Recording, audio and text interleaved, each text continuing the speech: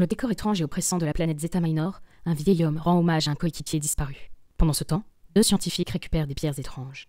Le vieillard et l'un des hommes périssent dans d'étranges circonstances.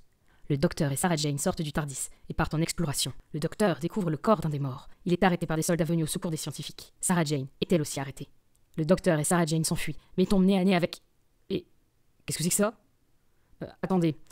C'est donc ça que le docteur va combattre? C'est un amas de lignes rouges? Qui fait disparaître des gens pour les faire revenir en vieux cadavres. Bon, enfin bref. Euh, toujours est-il que le docteur et Sarah Jane retournent près du cadavre. Comme ça, ils paraissent encore plus suspects. Les soldats envoient une GoPro frisbee. Le docteur fait un vœu. Ils embarquent des petits pots de crème. Ah, ah non, euh, c'est des cailloux en fait. Bon bah, c'est des petits pots de cailloux. C'est des cailloux disco d'ailleurs. Ah, c'est cool. It doesn't make sense. Alors que revoilà le plat de spaghettis, les soldats lui tirent dessus et se jettent dans le vide. Pour vaincre les spaghettis lumineux, ils envoient des traits d'une autre couleur. Alors, euh, comment expliquer cette scène? Hmm, Le docteur est mort, No, not the doctor. He can't be dead. il est tombé dans un trou.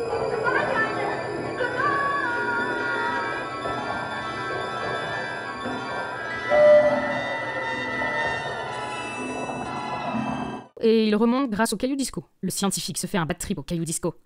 Il boit de la fumée. Le vaisseau ne peut pas décoller car les spaghettis veulent les cailloux disco. It doesn't make sense. Quoi? Le docteur se rebiffe? Qui a fait ce détourage dégueu?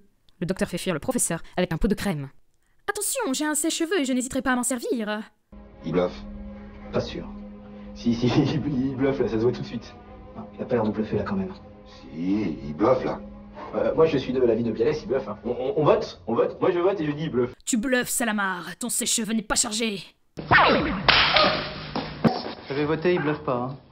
Attention, j'ai une lumière aussi Le docteur chasse les spaghettis à coups de pot de crème. Le docteur utilise une arme à feu It doesn't make sense. Le docteur emmène le scientifique au trou et le pousse dedans. Le scientifique ressort du trou, genre normal. Alors que revoilà les spaghettis. Et voilà, l'épisode est terminé.